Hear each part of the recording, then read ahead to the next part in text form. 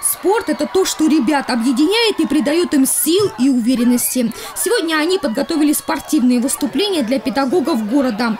Организатором праздника по традиции стала вторая школа, которая в этом году отметит 97 лет. Уже на протяжении 42 лет это является традиционным праздником для наших детей, семей, родителей, учителей. Потому что мы выходим на это мероприятие и показываем свои спортивные достижения. Тем самым мы поздравляем наших всех учителей с Днем Учителя приближающимся. И, конечно же, готовимся к новой сдаче норм ГТО. Ребята принимали участие в различных видах эстафет. Показали и художественную гимнастику. С каждым годом ее популярность в Сочи растет. Сочинка Маша Горшкова очень хочет быть похожей на Яну Кудрявцеву, самую юную абсолютную чемпионку мира за всю историю художественной гимнастики. Этот вид спорта мне нравится, он очень красивый. Занимаюсь им уже почти 9,5 лет.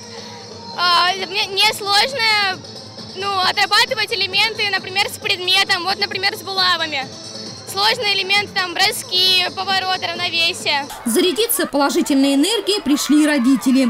Они тоже участвовали в спортивном празднике. Короткую дистанцию бежали вместе со своими детьми. Я бежал сегодня со своим классом и со своей дочкой. Просто хорошо. Просто отлично. Владимир Хайхян, учитель физкультуры второй школы, десятки лет приобщает ребят к спорту и выискивает среди них спортивных звездочек, которые потом вырастают в больших звезд спорта, таких как Алексей Воевода.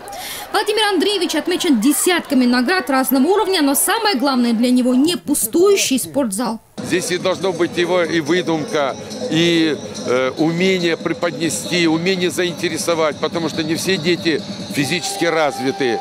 А на наш праздник приходит стопроцентная явка, даже дети освобожденные, они в отдельных видах принимают участие. Конечно же, многое зависит от того, кто рядом с учеником. От желания учителя открыть в детях новые таланты, научить их общению, терпению и вниманию. А без этого ни в спорте, ни в жизни не достичь высоких результатов. Елена Овсецина, Николай Тихонов, телекомпания «ФКТ».